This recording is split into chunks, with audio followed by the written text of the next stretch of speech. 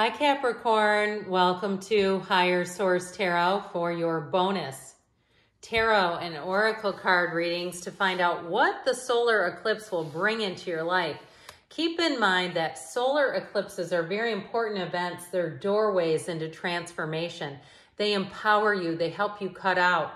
They herald endings and bring in new beginnings. They are the cycle of life itself. And the other important astrological event we have is the conjunction of Jupiter and Uranus. Uranus is the planet of quick and sudden change. Expect the unexpected.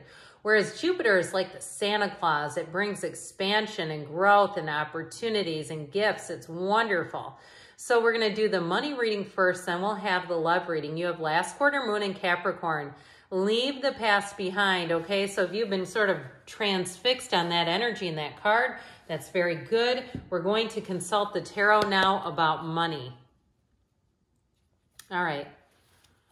What advice do you have for Capricorn, Sun, Moon, Rising, and Venus to attract financial abundance and prosperity? Okay, we will do a four card reading followed by an oracle card reading. Then we'll get into the love tank. All right, you've got the Empress, the Ace of Cups, and the Eight of Cups. Moving on to deeper meaning and the Star. This is great. Wish fulfillment. You have the Path to the Heart and the Goddess of Truth here. You have Aquarius. You've got quite a bit of water. And I also feel like, too, with the Empress, she represents Earth, the Mother Earth.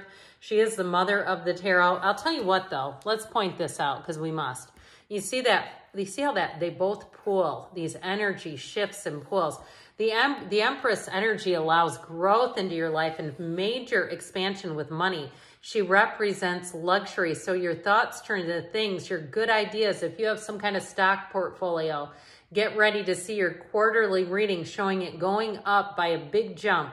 I also want to tell you too with the Empress, so it's time to take action. She does not just sit on her keister. I know she is on these pillows, but the energy helps you to get busy again, especially allowing your creative juices to flow. If you do something in marketing or you do something with like software design where you're marketing and advertising, or it's even for your own personal business, you say, I need to get a website. I need to do this and that. This is where you're going to be inspired to take action. We're going to reach out to people, do that sort of work. And I feel like you will not be disappointed. Like anything you create in this energy is beautiful.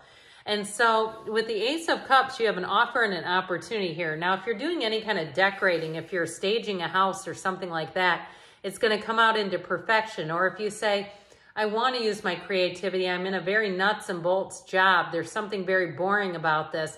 I keep seeing somebody as like a toll worker um, videotaping themselves. I, you'd have to check the state that you're in if that would be allowed.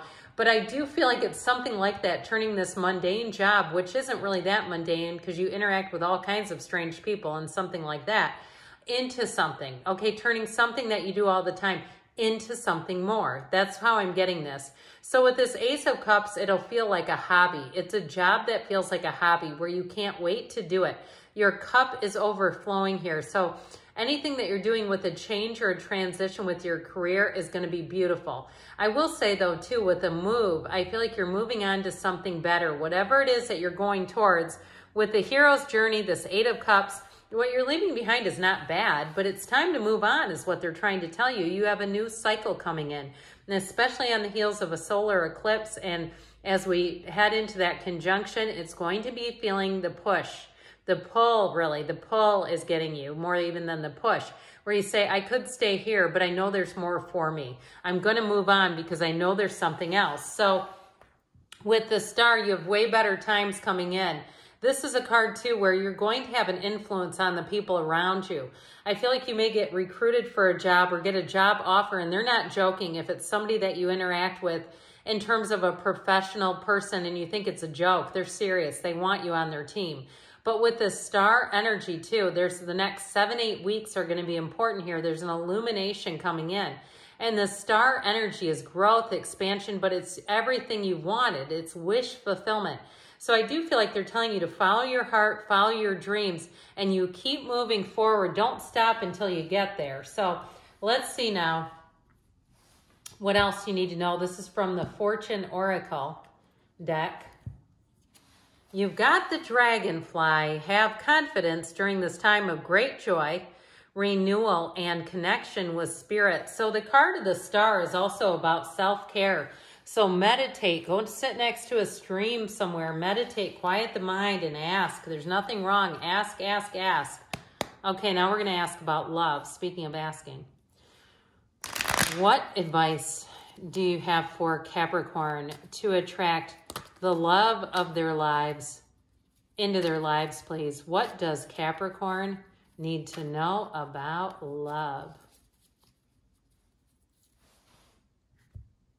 All right, same setup, four cards with an oracle card at the end. You've got the Four of Swords, the Nine of Cups, another one of the wish fulfillment cards, Justice, and the Hangman. Now, this is interesting because these two are in order. Okay, we have 78 cards here. We just had two cards, Major Arcana, come out in order. That's a big deal. That Hangman energy is a light bulb moment. I'm telling you what, turn on your heart light. You turn that sucker on on high beam, all right? Because you have love coming in here. Now, with this Four of Swords, if you've been in a breakup, you are going to get communication. And as long as you want it, with that Nine of Cups it's coming in, because Nine of Cups is wish fulfillment. You have double wish fulfillment. How'd you get so lucky here? You have the one of the lottery tickets of the tarot here, but this is about love.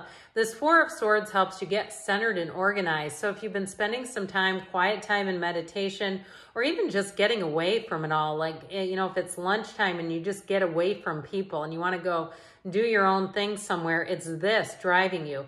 If you find that you wake up in the middle of the night and you just say, I'm just going to meditate, I'm just going to hang out and meditate, guess what you're doing? You're opening up the channel to your heart.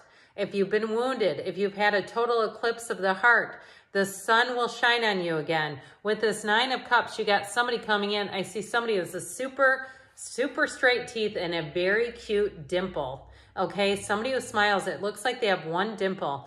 But I just love their energy. They, they light up inside. When they see you, I get like fireflies at night. You know, on those hot, steamy nights, we used to visit my grandma in Indiana and I remember she lived across the street from a cheese factory, which we thought was very fascinating.